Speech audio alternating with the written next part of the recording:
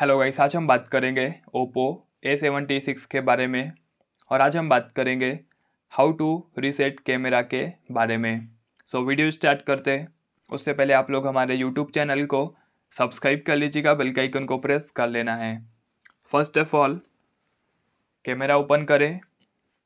Okay allow और यहाँ पे हम क्लिक करेंगे सेटिंग्स पे। स्क्रॉल करेंगे। और एकदम बॉटम में हमें मिलेगा रिस्टोर टू डिफ़ॉल्ट इस पर क्लिक करा।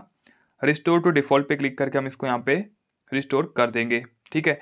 इसमें अब काफ़ी सारे लोगों का डाउट रहता है कि अगर हमने कैमरा की सेटिंग्स को रीसेट किया तो जो हमने फ़ोटोज़ क्लिक किया वीडियोस रिकॉर्ड किया सेल्फी क्लिक किया, कहीं वो तो डिलीट नहीं होगा। देखिए, वो सब सेफ़ रहता है, वो डिलीट नहीं होता।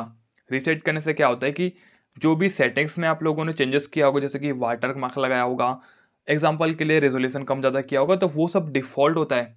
बाकी कुछ भी डिलीट नहीं होता। और रीसेट कैसे करते, वो हमने आप लोगों को बता दिया है। सो टॉपिक कवर होता है। मिलते हैं नेक्स्ट वीडियो में। जय माता दी।